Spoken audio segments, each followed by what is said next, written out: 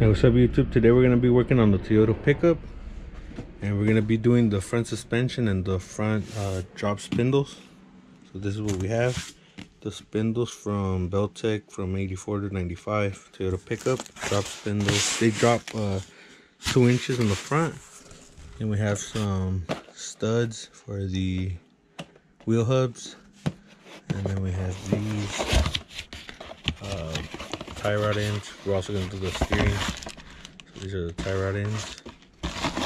And then we have the upper and lower ball joints. We have some more steering stuff. These are, oh, these are the control arm bushings. I think these are the lower. Then we have these. I think these are the upper.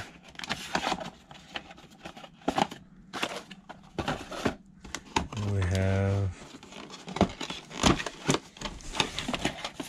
these uh these? oh these are the these are the strut bar bushings the ones that connect to the front of the truck the lower front end of the truck and we have these inner or outer tie rod, I don't know one of those and we have this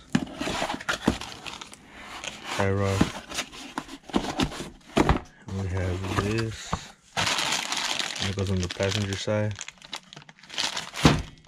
We have the steering stabilizer. We have the drag link. And we have the front shocks from Belltech. So we're to do all this right now. And we're to measure the front end of the truck to see how much it's really to drop. So right now as it sits, we are at about 25 and 3 quarters 25 and 3 quarters 20 let's say 25 and a half. Yeah let's say like 25 and a half. So let's jack up this truck put on some jack stands take off the wheels and start taking it all apart. All right so we're gonna start off by loosening this torsion key torsion bar. So we're gonna loosen the top nut first, all the way to the top. And then we're gonna loosen the second nut to start getting the tension off of the control arm. And once we get the tension off, we're gonna, so we have to count the turns it takes to get the tension off. So when we put it back, we could put it back to stock. And we're gonna pull this uh, torsion bar off and replace the bushing. I don't know if the bushing is in the front or back here. And then, uh, because we're gonna have to remove this either way uh, since we're gonna remove the control arm and everything uh, we're gonna try to spray the control arms down or something I don't know yet but so yeah this is where we're gonna start off. And then we're gonna come up to the front and work on everything else. So let me find a wrench for that torsion key. All right so we got the torsion bar basically off. We got the screw all the way out. And there's these two nuts right here in the part that sits on top. So I'm gonna put these back and then um we have to take these off to 12 millimeters. But before we pull the torsion bar off we are gonna mark it right here because it's it has splines so just in case we just want to put it back to where it was. I'm just gonna put a little right oh I'm just gonna put so I'm just gonna put a little line right here just so it could line up And then um, I think we should be able to pull it off. I'm gonna try to pull it off. If not, I'm gonna have to remove these. And then we're gonna start removing the bolts for the caliper. So we can just put it aside and let the whole thing drop. Just finished removing the brake caliper. So all these bolts, all these four bolts are 17 millimeters. So I remove the caliper first, then the bracket. And since we're gonna remove the spindle, all this has to come off. And these brake calipers are also gonna get replaced with some that are a little bit bigger. So stay tuned for that video. See right here, the little rubber thing is gone. And when we would brake with this truck, it would wobble. So now we're going to, uh, we're gonna hang this off to the side. We're also gonna rep uh, replace the brake line. You can see, pretty bad. Put this off to the side for now. So next we're gonna remove this shock. Put some WD-40 on it.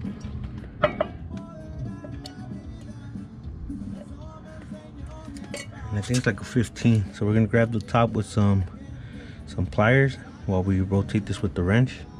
And then we'll go ahead and do that to the bottom. Well, the bottom, we just use the, it's the 15 probably from underneath. It's two bolts and pull out the shock. Okay, so these bottom bolts are size 12 and I pulled out the shock from underneath. Now we're gonna get over to this tie rod and we're gonna pull the little um, the pin out and remove the castle nut and just hammer it out. And let me get through that real quick. I think it's a size 19 probably. Yeah. So we're gonna go ahead and remove this dust cap.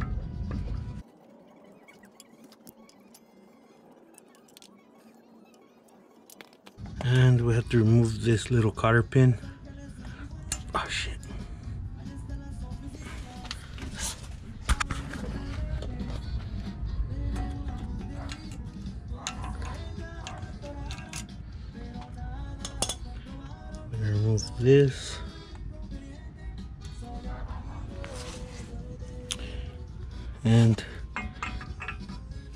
Size 30, so we're gonna try to break this loose. Fuck. Alright, so it wasn't even tight. I just put the breaker bar on there and I just turned it. It's not supposed to be super tight, so came off pretty easy. So now we will be removing this dust shield. We're gonna remove these cotter pins again, these two bolts, these nuts, and take it off because I think we're gonna use it on the new one. And yeah, so let me get through these real quick.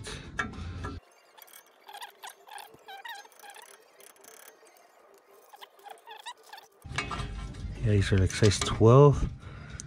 Let me get these off. Let me get all four of these. Okay, so these two were 12 and then these are 17s. And the bolt that goes straight to this steering wire or whatever you call this. So you have to remove this this in order to get to the uh, ball joint.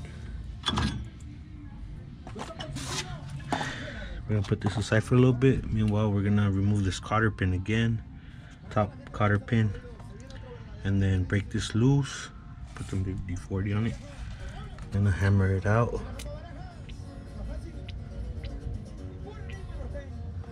This one's gonna be a little more tough, but so yeah, let me get to this real quick because it's hard to hold the camera and do all that. Okay, so we were able to remove the upper ball joint. And so you just out of the way and we also smack the bottom one a couple of times. It just slides off. So that's the old spindle. I'll show you a side by side once we get the other one out of the box. We're gonna continue tearing this apart. So we're gonna remove this uh, strut bar, I think this one's called. So there's two 17 millimeter bolts, which are these.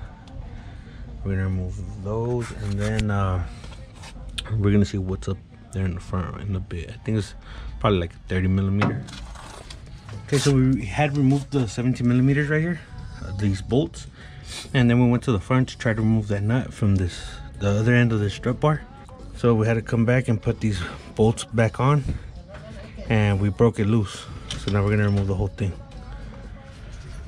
So there you go, that's the bushing that we're gonna replace as well. I don't know, but um, I forgot to show you guys, but when we would turn all the way to one side, um, we would hear a really loud clunk. So I don't know exactly what it was, but that's why. Well, that's one of the reasons we're replacing everything.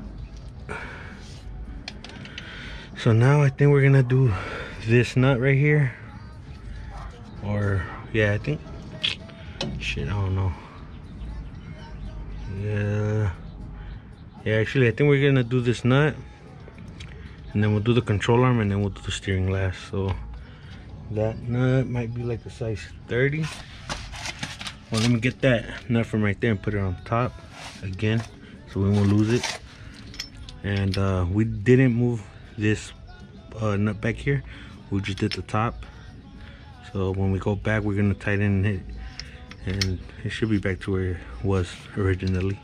Okay so i have the lower control arm out and um, so we broke that loose with a 1 and 1 16 socket and then we just tapped it all the way in. So this has splines as well and it slides into the to this piece right here and that's held on by these two nuts. So we got it all the way through you don't have to remove this. We just got it all the way through and um, it came out. So so now we're going to work on these upper control arms. So it has two two bolts through here. These two uh, threads that you see are from the bolts that hold it in. And then I guess you just fish it out through here. So this is the bushing that we're gonna be replacing for lower control arm I don't know if we could just hammer it out I don't know I don't know how how this one's gonna work but see if I can remove it I don't even think we have the right bushing for that, but we'll check that out in a bit. So let me get to these bolts up here and remove this upper controller. Okay, so we removed the two bolts. There's a controller and we put the bolts back and has each side has a spacer. Well, this side had one and then the front had like four. They're different sizes, so make sure you keep them on the side that they go this was for the front that's for the back so this is the upper this is the lower and so now we're gonna work on removing the steering on this side. And this has taken roughly about an hour and a half maybe two but we got this far. So i'm gonna remove that. I think those are like 14 millimeters. No i think like 50 no. Yeah these are 14s so I remove, i'm gonna remove those three 14s and then this 12 millimeter for the steering stabilizer and then i should be done with this and then i'll start replacing all the bushings and put it all back together. So let me get to this real quick.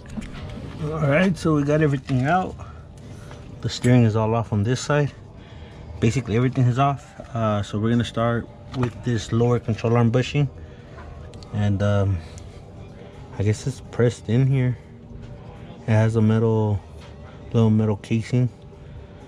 And uh, I don't know. It seems okay but then again it's 30 plus year old uh, truck so we're just gonna replace it. We were gonna spray all this down but I don't know. It's kind of too much work hitting it with the wire wheel and painting it and then we still have this to paint. Kind of want to make this black just so it could look a little cleaner but maybe later on down the line. So I'm gonna have to run to AutoZone and rent the tool to remove this because I tried hitting it with the hammer but it's not coming off. So I was able to borrow this ball joint removal kit. So we're gonna try to pop this bushing out right now. We finally got this bushing out. We hit it with the chisel. And we pushed out the pin. And we got this one in. We had to hit it with the hammer and we used the little cap that came with the tool to hammer it in so now we're gonna put the lower control arm back on. And uh, we cleaned it up with some degreaser. This is still the old ball joint so that's gonna come off once it's installed. So this has some some like little grooves in here. And I don't think it has an exact position of how it goes in but you do have to tap it in. That's basically the bolt. And then uh yeah so we're gonna do that real quick. Next we're gonna do these uh strut bar. I think that's what it's called strip bar bushing. And we went with these polyurethane bushings. So one reason we didn't get poly for everything is because uh they squeak a lot from our past experience so kind of didn't want to deal with all that noise. So gonna slide this off. I'm gonna put these on here. There's, I think there's the part number right here. So one kit came with four pieces. Slide this on top. Actually, we have to slide this through the bushing, I think. And all four should be the same. So let me let me do this with two hands. And we're gonna put it back in. We remove the ball joint. This is the old one. It's not that bad. It's actually pretty stiff still, but we're gonna replace it already. It looks pretty old. Here's the new one. So comes with the cotter pins and the little grease fitting. Uh, we're just gonna have to uh, use reuse these old bolts because it didn't come with new bolts. So I'm gonna slide it on here real quick and we're gonna tighten this up. Okay, so we got the ball joint in. We have this bushing in for this piece the new bushing back here. And if you guys remember we marked the torsion key for the bar to go in. So that's next. We're gonna put that in. And we're gonna clean the old grease from that side and put some new grease. And then uh, then we'll start with the upper control arm bushings which looks like it's gonna be a hassle because of this setup but we'll see if we can get through with it today. We put the control arm up here on the vise and we hammered away right here on one side. So basically like this on this side. And then we got it with the edge. There's this big ass like chisel. So we were able to get one side out. So now for the other side we're gonna slide this off. Hopefully. We'll have to get it off of the vice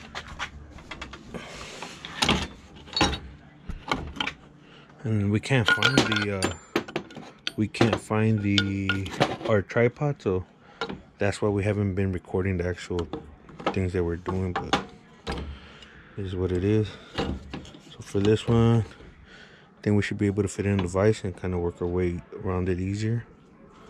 So let us do this real quick and then we'll see how we get it back on. For this side it was way easier so I just got it on here then I hit it on one side a couple of times I guess just to break this like seal it creates. And then I put it in between the vise and I hammered the shit out of it and then it just flew out. So there's a little little lip right here where it sits. So now I'm gonna put the new ones on. I guess the first one should be easy to go in just hammer it in. The second one's gonna probably be a problem. Unless I find like a, a socket that fits around this there's a stupid thing that goes in the middle shit.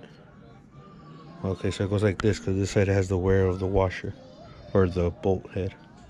I was able to put both of them in, but I fucked up the little edge of the actual bushing housing.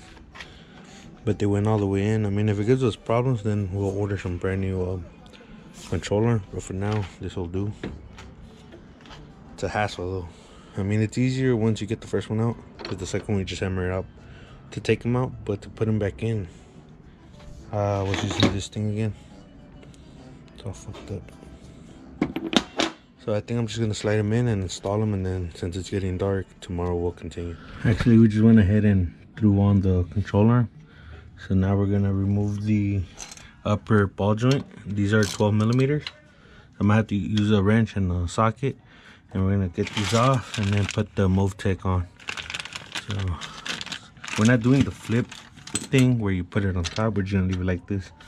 And um, later on if you know we have to flip it flip it for whatever reason.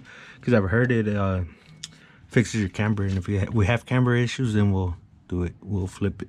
But for now. All right so one more thing uh forgot to mention that the ball joint does the new ball joint comes with bolts and nuts and the old the old ones were 12 millimeters. These are 13 and this little nipple thing right here is an 8 millimeter. So we're gonna install them for the lower one. So now it's ready for the spindle all right so i got these all tightened up.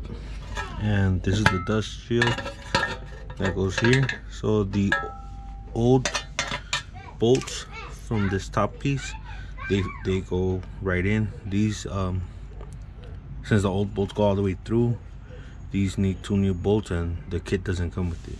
So we have to run to the store get some bolts for these two. And also we're gonna cut this off because it hits right there right by the ball right here. So i'm gonna cut this with the grinder. And one more thing that we're gonna throw on there before well right after we cut that is this um i forgot what it's called. It goes right here. So i think those are like 14 millimeters. So i'm gonna reuse the old bolts. And this was from moog. As a 555 stamped on there. It's gonna go right there. We just got back from the store. We picked up two more bolts. Well four actually. Two for each side. This was the thread pitch m8 1-25 and we got the 60 millimeter bolts.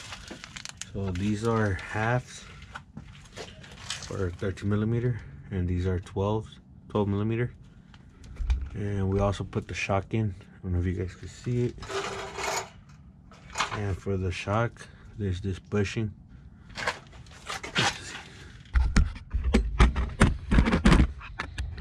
There's this bushing that comes with it and so on one side it has this little piece and on the other side it has the wider one. So you have to see what side your truck takes. Um, and for this truck we use the smaller side. So they sandwiched together the two small sides. And these were on the outer sides of the shock. So oh we also have to remove oh and for these bolts you also have to get washers we're just using the ones that came on this piece the steering piece. We also have to remove this little i don't know what this is like this little stopper for the steering. We're about to take that off right now and then we're going to throw it on that knuckle before we forget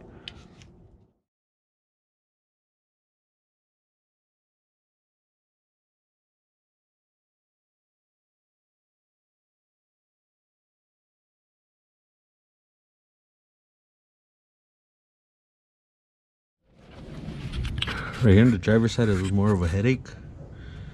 Uh well for this the pitman arm we just removed the bolt and hammered this out.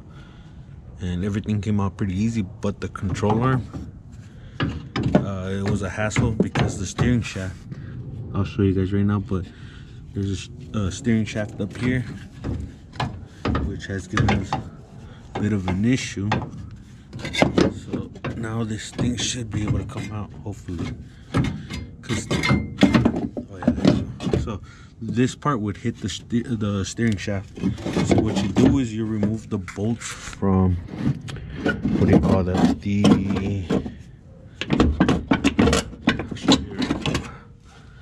so you remove the bolts, I mean the two nuts from here.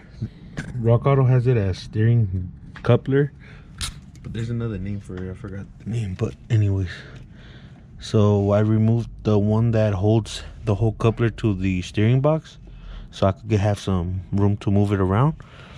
And then I just undid the two nuts from the actual steering shaft enough to back it off and lift it up out of the way. So now that this is off, we're gonna wash everything and then um and then start putting it back together with the new bushings. So on the passenger side, put everything back, show you guys.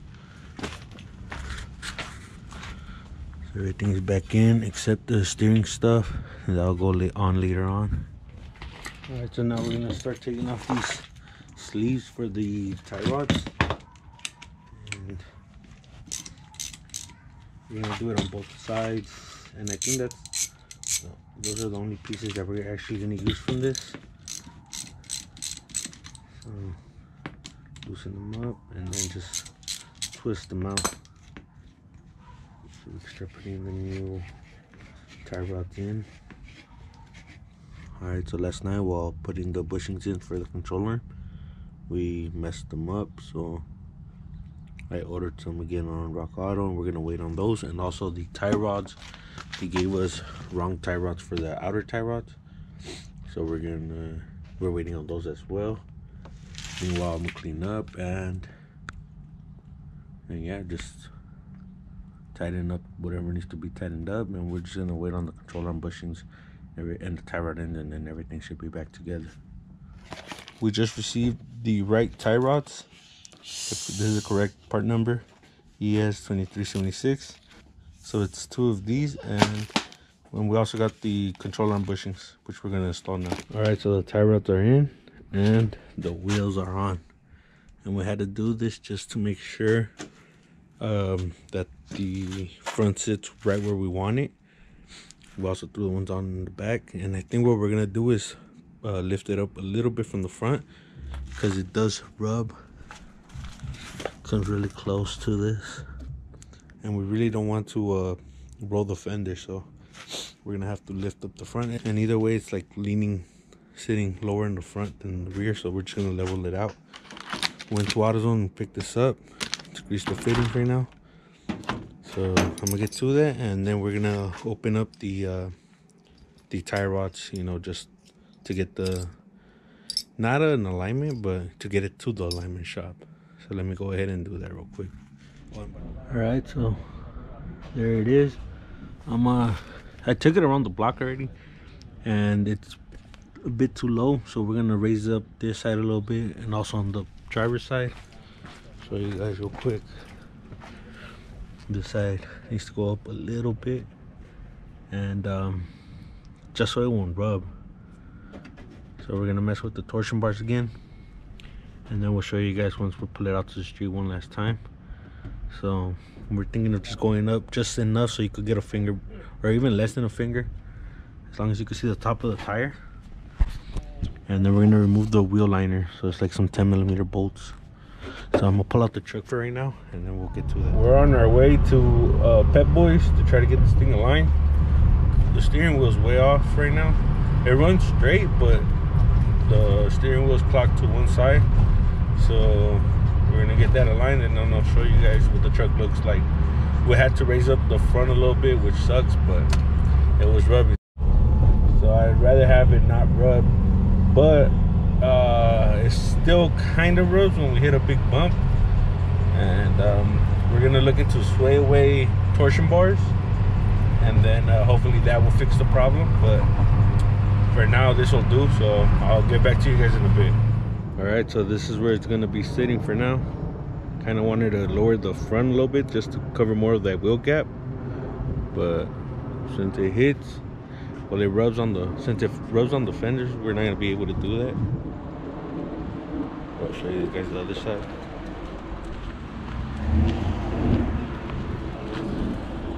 And also i don't know why but this wheel's sticking out a little more than the driver's side. And we might have to get some spacers for the back maybe like a half inch spacer or so just to get that wheel to stick out as much as the front